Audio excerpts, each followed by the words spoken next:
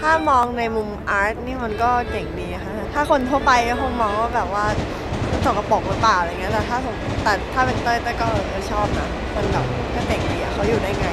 ตอนแรกที่เขียนบทคืออยากได้โกดังอันหนึ่งเป็นโกดังล้างไอตัวตั้มเองกับเพื่อนเนี่ยมาแอบอยู่โดยที่ไม่เสียค่าเช่า มาบางคนก็มาทำงานศิลปะบ้างบางคนก็มาใช้เป็นกำรงชีวิตอยู่เฉยๆอะไรเงี้ยาวมากค่ะ บรรยากาศโดยรอบเอ่อโกดังหนาวแบบหนาวมากเพราะอยู่ติดริมน้ำด้วยแล้วก็อยู่ที่ชนบทด้วย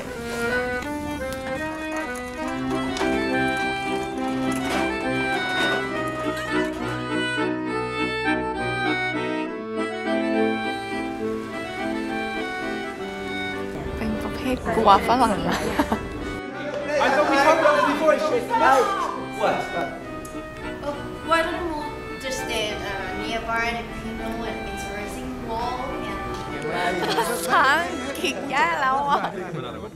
ทุกคนก็รู้แล้วกาลิเลโอเลยพูดถูก แต่เธอค่ะการทำงานของพี่เลก็อย่างซีนที่จะต้องแบบมากวนกันอะไรเงี้ยก็คือเขาเล่นพี่เขาเล่นธรรมชาติมากคือเหมือนกับแบบรับส่งอารมณ์กวนกันไปกวนกันมาแบบดีอะค่ะทุกซีนที่เรามาเจอกันก็จะมีการเชื่อดเฉือน คารมกันอยู่ตลอดเวลา แต่ก็เหมือนพี่ชายครับที่เป็นห่วงน้องสาวทั้งสองคนหนึ่งสองสามไม่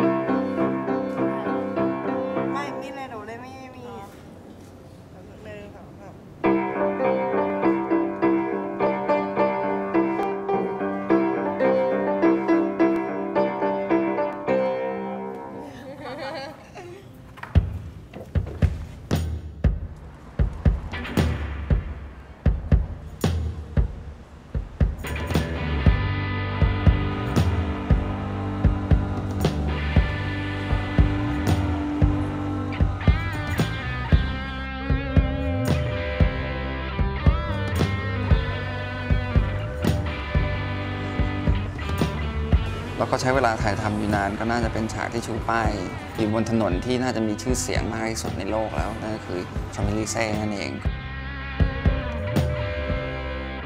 มีพี่ๆมาจากที่ทำงานอยู่ที่นี่ก็อุตส่าห์หยุดงานมาช่วยกัน ทุกคนยินดีมาช่วยกันเต็มที่ค่ะนี่รอหนาวมาตั้งนานแล้วนะเนี่ยไม่ได้นั่นแต่ก็เห็นทีมงานขยันขันแข็งเติมมา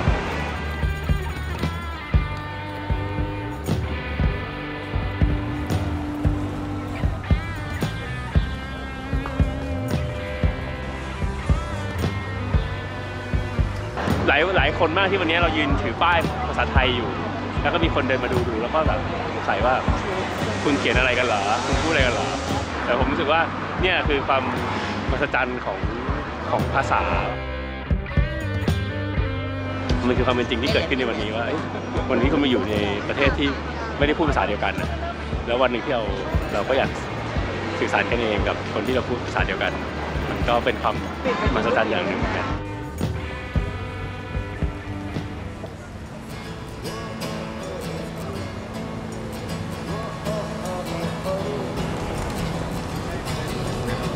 ไม่มีอะไรหรอกเขาก็ถามว่าไอ้นี่เขียนว่าอะไร